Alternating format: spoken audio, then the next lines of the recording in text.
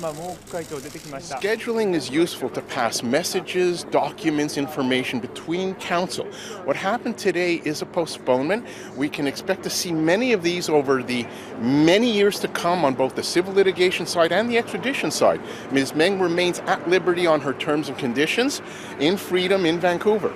Although we've seen a postponement to May, that may be enough time for the Americans to conclude trade negotiations with China, resulting in the termination of the extradition case. What's key is civil litigation opens the door to discovery of documents that are not available in the extradition process. So you can flush out the records of government officials, senior government officials, which you could not otherwise do in extradition. It's a great strategy to gather evidence indirectly that can't be gathered directly in extradition.